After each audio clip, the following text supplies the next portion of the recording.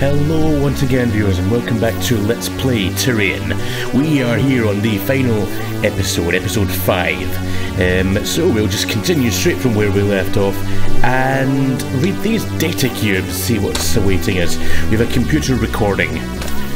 We deeply regret having to take this action. While the universe continued on without you, we, part of the Hazudra Whole, strapped a proximity bomb onto your ship and redirected you with a subtle nudge towards a very hostile enemy asteroid system. Your cryo system will wake you up at this point. Once we detect your renewed signal, we instruct you further.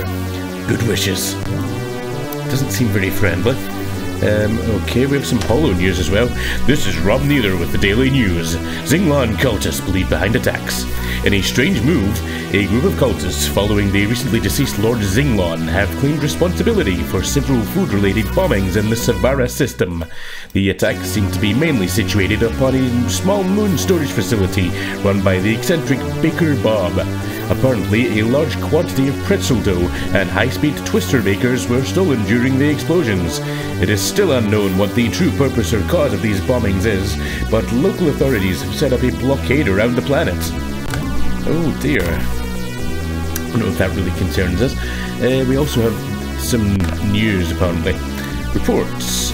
L Line Agent Stream 2041 Trent Hawkins Memorial erected. Today, with the collaboration of the Deliani Central Committee and the Tyrian Regional Tribunal, a memorial statue was erected on Tyrian's capital city of Foci Central Complex pedestal. The statue was erected to commemorate the heroic efforts of Trent Hawkins, already a legend in the galaxy for his superhuman fighter pilot skills and his single-handed rescue of the system from the invading Vykromod fleet. Well, that is very generous of you. We have had a memorial erected in our honour.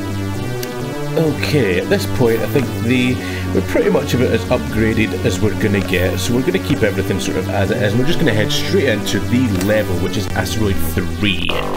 So we've apparently been dragged towards some asteroid system by some group of Hazudras. What to what end? I wonder. What do they want from us?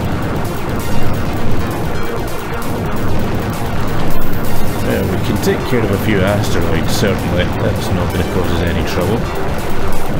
As long as none of them have lasers or anything. Some of them probably do. But we have bigger lasers, so that's the main thing at this point.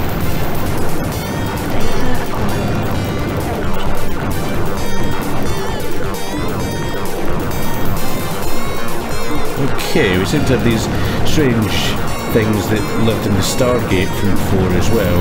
And I wonder what they're doing here. Lots of asteroids, as you would expect from an asteroid field. That one is quite sturdy. But we can blow up most of them.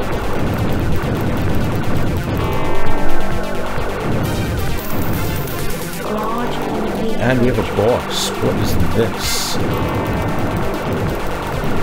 Seems to be throwing its spinny things at us. Now it seems relatively... Oh, it's not exactly defenceless. It's still shooting at us, but nothing, nothing too dangerous at this point. So, we have made it through Asteroid 3, um, and we have another data cube. Let's see what that says. Datacube Dispatch 0497SV510. Again, it's some news. Reports L Line Agent Stream 60, the Grey Books return. Mysterious grey books filled with unknown material have surfaced in an archaeological expedition to Savara, led by well-known scientist Grafim Arugo. The books are encased in a medium-grade durable material and are alien in nature, although Grafim believes they originated on a distant planet named Earth mentioned in several folklore passages.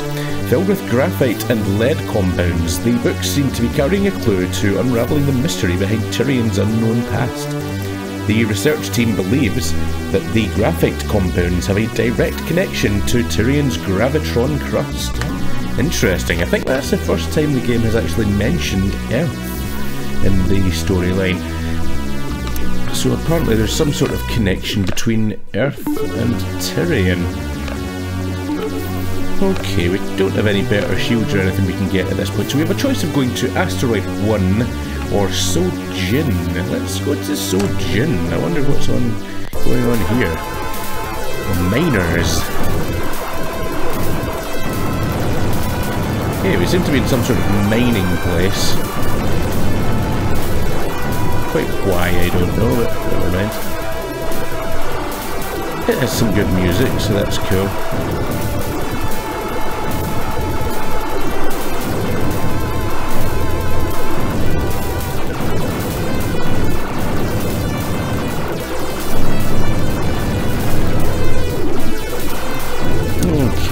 Okay, I'm just gonna blast our way through here. Blasty, blasty, blasty. And that thing was hanging off the edge of the screen a little bit there, but never mind, no huge issue. I've got to watch out at this point, we do start to get some turrets kind of hiding themselves just off the edge of the screen, making them difficult to actually destroy. And the turrets at this point in the game do shoot quite rapidly compared to earlier on.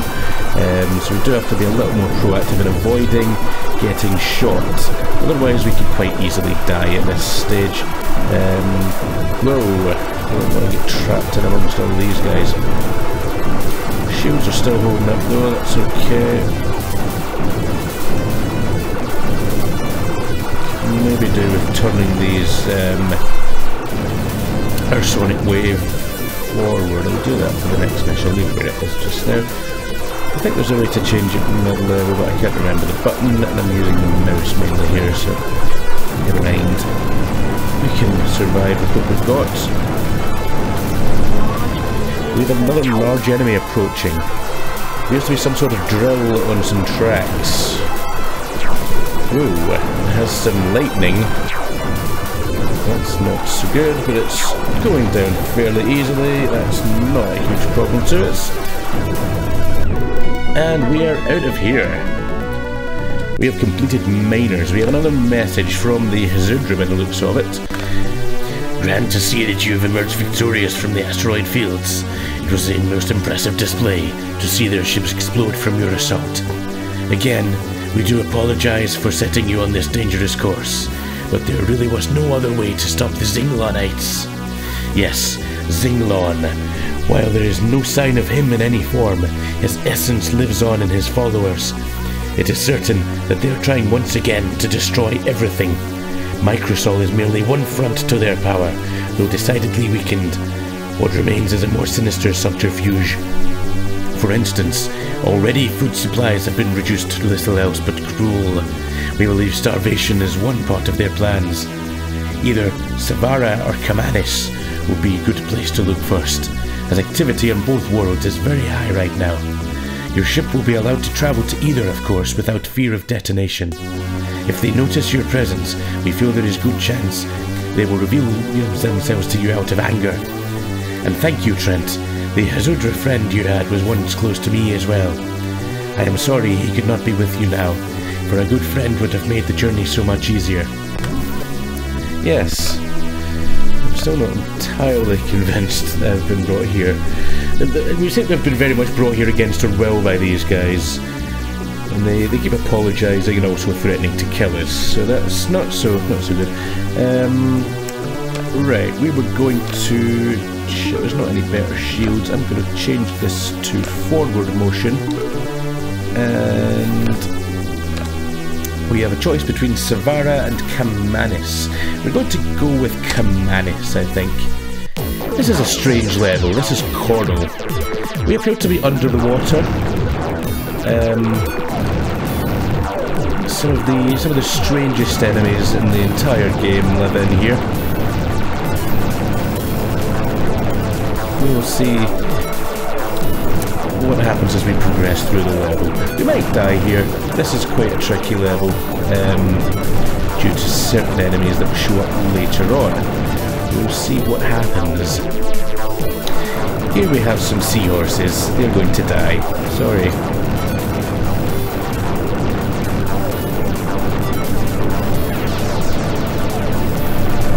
There also seems to be some sort of strange eel type thing um, which they're, they're shooting blue balls at us. There seems to be also some robot fish.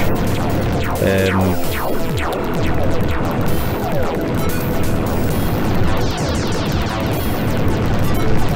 it's a very strange level.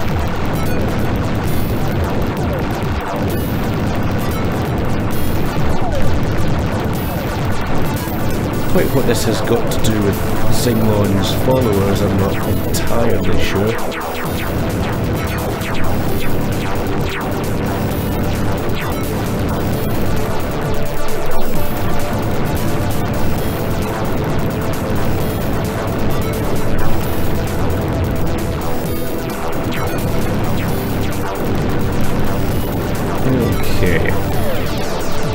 Continuing to blow things up on our way through here.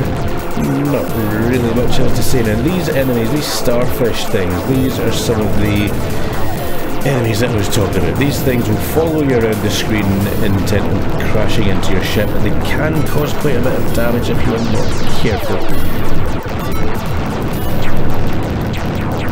So far so good. To be on guard.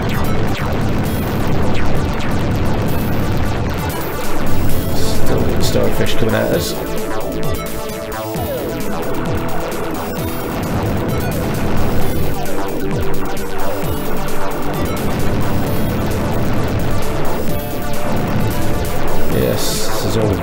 Strange. We seem to be getting torpedoed by what look like giant metal fish ships. I'm not sure. I'm not maybe there's some sort of submarine. what the hell this is. It seems to be some sort of. It seems to be made of metal. It also seems to have teeth. Um, I'm going to kill it as quickly as I can. There we go. That was coral. Warning. Warning beacon specifies level 5 automated resistance system. Unknown response to continued approach. Okay, it looks like we are headed into trouble. Um, let's see what this data cube says. We have a message from Zinglon. Oh dear. Uh, what does this mean? Again, you plague our path towards ultimate wisdom. Again, your cursed mind and stolen starfighter technology return. You were thought to be destroyed in your battle with our god, Zinglon. However, I see that your twisted destiny permits you to live. I cannot. Okay, so I take it this is a message from one of Zinglon's followers, um, who are now intent on killing us. Can we improve our shield any? No, it doesn't really look like it. Uh, let's then, let's just go for it. We're headed to Gyges. Good luck. These platforms can do quite a bit of damage if you're not careful. We also will have to watch out for these ships that are coming in from behind us here. And be careful not to let our shields drop too low.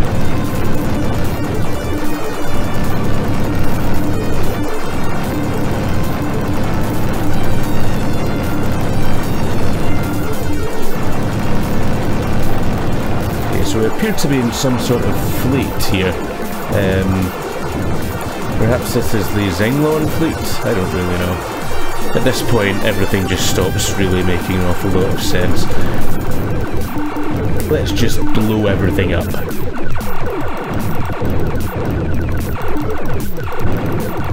I'm gonna make sure our shields don't get down too low, because these enemies can kill you pretty quick if you're not careful.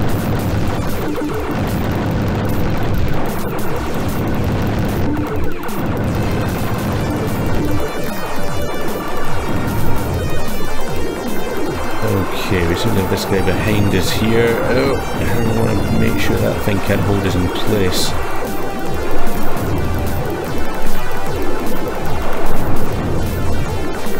Okay, so watch your shields. Ah. Right, anyway, we're doing okay, we're doing okay. We're still alive. Large That's the main thing. Oh, we have a large enemy approaching. What could this be? Seems to have some rather big guns. Let's kill it as quickly as we can. And we have killed that one, and everything is just falling in front of us here. We have another data cube. Incoming message from Zinglon. Another Zinglonite. Let's see what they have to say. A glorious message from our God led us to this final path. Some doubt us, but we realize to fulfill Zinglon's wishes, we must control the food supply to all, then twist it to his will. His ire is absolute, and his hatred for you brims over and envelops your future. Soon you shall behold the fruit of our glorious and divine leader. Fruit. I have a feeling that fruit may not be as metaphorical as it sounds. Um, okay, have we got any shield upgrades? We do. We have a very powerful shield available here. That is off the scale powerful. Let's buy that. Um, everything else I think is fine. Um, we'll just continue on. We're heading to unknown. Fruit. We're headed to fruit. Here is fruit. There's fruit everywhere. Fruit floating in space once again. Let's collect the fruit.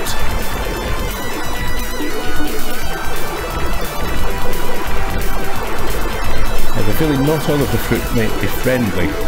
Maybe some, some rather hazardous fruit in this level as well. Yep, we seem to be, to be getting attacked by fruit.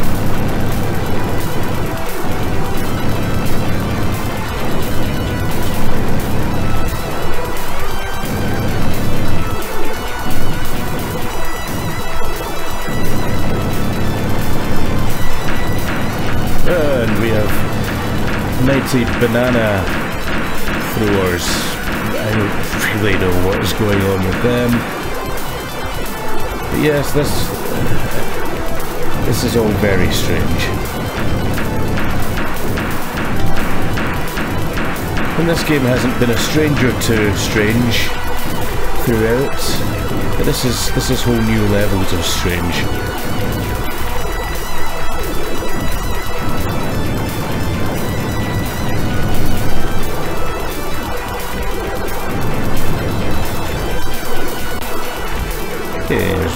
Take out these strange laser beam things, or lightning barriers, or whatever they may be.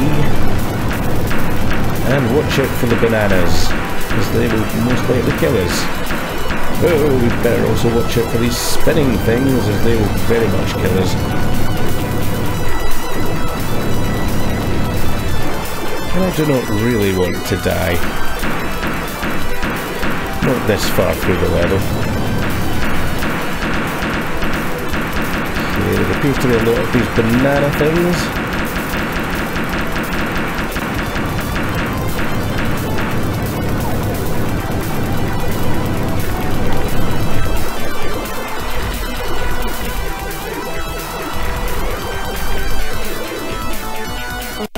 And we have a large enemy approaching. What have we got here? Oh, it shoots bananas as well. It's also not very tough. So we will destroy that and be on our way. Related by your one-time friendship with Buse, you were sought out by his people, the Hazudra Collectors, and sent to destroy the Zinglonites. With none of their forces left, and the deadly fruit weapons destroyed, the universe as a whole is silent once again, no response ever comes of your inquiry to the state of the Sudra or who sent you on this journey. The secret haunts you in your sleep. Still, a hero once again, as always. Congratulations! We have defeated the, the evil fruit machines of the, the Zinglon, or something. Okay. With that, we have a total score of 1,639,515. Did you know ancient Tyre, Tyre, Tyre, Tyre was a large Phoenician seaport from around 2000 BC up until the Romans came around? It was located on the Mediterranean. I think the reason we are being told that is because the name of the game kind of comes from it although I'm not entirely sure of the pronunciation of it. Never mind. Um, we shall move on, and with that, we have the end credits. we have managed to complete Tyrian. That was episode 5 of the game. Episode 5 was notably shorter than the other episodes. Episode 5 was basically added in with the Tyrian 2000 version, I believe. Um, and in fairness, it seems a little bit thrown together. Um, there's some of the levels are decidedly lower in quality than the earlier episodes, but uh, it was just a few extra levels at the end there. Um, aside from that, there's not much else going on here. There are other modes to play in the game. There are you can play in the ar arcade mode, where rather than um, spending credits to upgrade your ship, you collect power-ups as you go through the game, and it's a bit more in, kind of random in that sense. There's also things like a two-player mode. Um, which is fun if you've got a friend to play it with. Uh, but like I've said before, I mean that this game this game is basically freeware now. You can get this online. Um, at, at this the time of recording. You can get it on GOG.com as well. Um, you can most likely get it at other places as well if you do a Google search. It's pretty much available all over the place. Um, so yeah, I'd, highly recommend checking this one out if you if you're remotely interested in uh, DOS games and vertical scrolling shoot 'em ups. This is one of the best ones available for the platform, if not the best. Um, in fact, I've heard it said before that I've, I've heard people state in reviews that this is one of the best vertical scrolling shooters ever made for any platform. Um, well, you may agree or disagree with that, it is certainly a fun game to play through. So, there we go. We have completed Tyrian. What happens now? Is anything going to happen at this point? we go back to the first episode, but we get super arcade mode if we type techno at the title. So this game has a lot of little codes like that that you can do as well. We, we could, at this point, if we wanted to, we could restart the game from the very beginning with our massively upgraded super ship that we have here. Um, we're not going to do that. We've basically completed everything at this point, so that is the end of the, the series for Tyrian. But like I say, yeah, I'd, I'd definitely recommend if you if you have any interest in this kind of game. Um, definitely, definitely look it up. Um, and I will save the game here. Let's play completed. There we go. Um, yeah, so thank you once again for watching, everyone. I hope you have enjoyed this series. Um, it's certainly been fun to play through this game again. Um, if you have liked this, um, certainly um, give us a like, leave us some feedback in the comments, and uh, if you want to see more of this kind of stuff, please subscribe. Um, in the meantime, thank you very much once again, and I will see you next time. Take care. Catch you later.